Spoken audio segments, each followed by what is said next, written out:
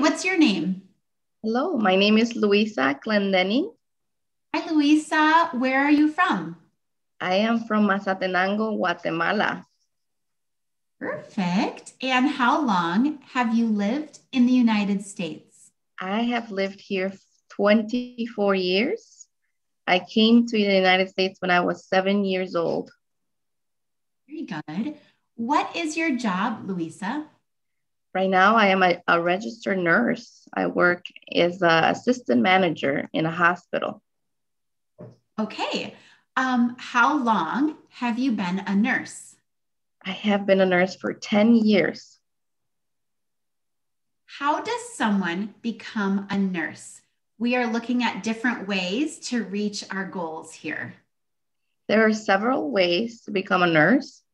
One way is if you want a diploma, it's an associate's degree with two years of um, nursing program. The different program from the associate's program, it's more targeted towards the um, nursing career. Um, so in total, about three years, three years and a half.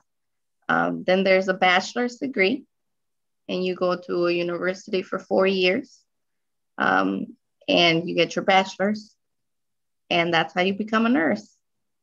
Perfect. So approximately four years. Ways. Yeah. Good. Um, what is the best part of being a nurse? The best part of being a nurse is working with older people. I like working with older people. Um, there is different patients. You have children, uh, teenagers, adults, and the elderly. But I like working with people uh, that are older. I like hearing stories uh, about their youth. I like hearing stories about their pets, their families. Um, and I like being there for them when they're sick, when they don't have anybody.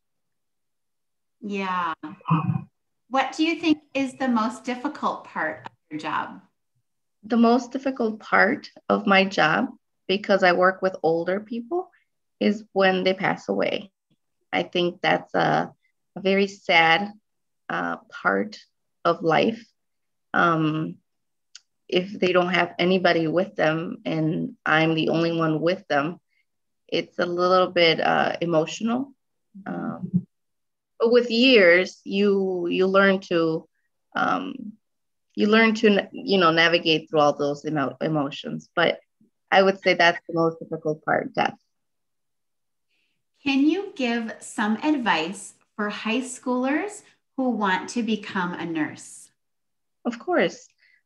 Uh, advice: Don't give up. Um, there are so many programs there are so many ways, there's so many uh, assistants that you can uh, accomplish your goals. If you want to be a nurse, um, there are fast programs, there are slow programs. You can take your time uh, completing it, but the, the goal is for you to keep going.